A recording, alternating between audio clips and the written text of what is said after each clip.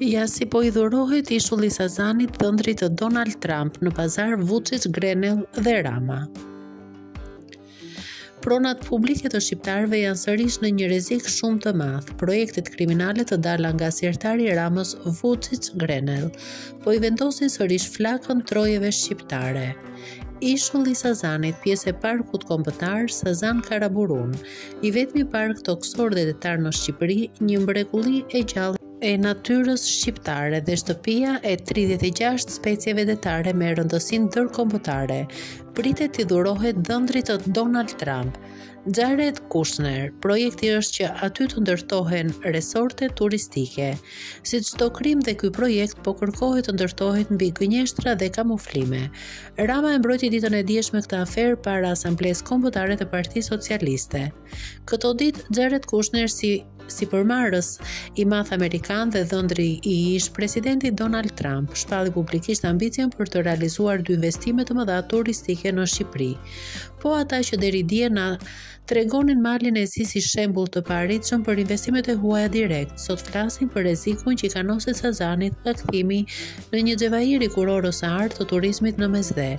Delirojnë për rrezikun e shkatërrimit të një parku kombëtar imagjinar, të një zone të mbrojtur që e mbrojtur nuk ka qenë kurrë përveçse ushtarëve të Enver Hoxhës, që vëzhgonin me dylbi zbarkimin e flotës së shtatë amerikane në Shqipëri dhe zbulojnë se si doli në dritë arsyeja e errët për ndryshimin e ligjit për zonat e mbrojtura. Hija e ish presidentit amerikan i pengon, ata më gojështhururit i bashkangjiten këtyre zërave për mua djali i paudhë që doli nga thesi i parave të Sorosit me djalin për shpirt të armikut më të betuar të Sorosit, tha Rama. Yndyra e pazareve të Edi Ramës kundër interesit shqiptar i cili ka futur në këto pazare Vucic dhe Grenell pritet të dalë në sipërfaqe më vonë. Kushner, dhëndri i Donald Trump, konfirmoi se po mbyllte marrëveshje të mëdha të pasurive të paluajtshme në Shqipëri dhe Serbi. Sipas medias amerikane, New York Times thuhet se planet e Kushner në Ballkan duket se kanë ardhur si rezultat i marrëdhënieve të ndërtuara gjatë kohës që Trump ishte në detyrë.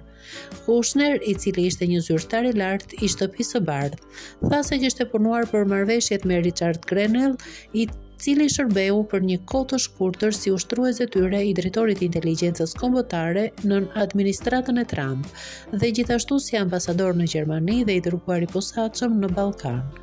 Grenell ish besniku i Donald Trump njihet dhe si filoserb dhe rus. Ai njihet dhe si mbrojtës i fortë i non-gratave me lidhje të ngushta me Sali Berishën, por dhe me Ilir Metën. Gjithashtu Grenell ka punuar gjithë këto kohë fuqishëm në prapaskenë për ndarjen e Kosovës.